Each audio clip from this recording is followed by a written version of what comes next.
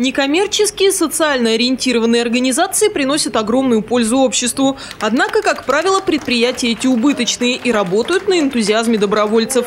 С этого года городские власти решили рублем поддержать социальные проекты, действующие в Иванове. Самым активным вручили гранты. Такие организации надо поддерживать, потому что э, и люди, организации на протяжении э, многих иногда лет, и даже десятилетий, все это делали безвозмездно.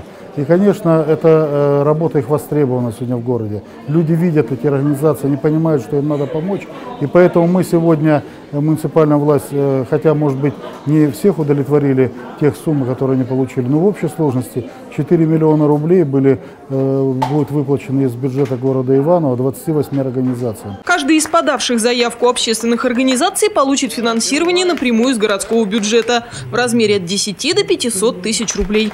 Применение этим средств средством уже найдено. Приют «Майский день» полученные 20 тысяч потратит на строительство дрессировочной площадки, где дети под руководством опытного кинолога смогут заниматься с собаками. Цель одна – с детства привить ответственное отношение к четвероногим друзьям. Все бездомные животные, практически все, большее их число на территории нашего города, это бывшие домашние. Мы считаем, что научив человека э, правильно воспитывать свою собаку, мы получим и отношение более гуманное к домашним животным, но и всем будет гораздо лучше от этого. В будущем, обещают власти, поддержка социальных организаций продолжится.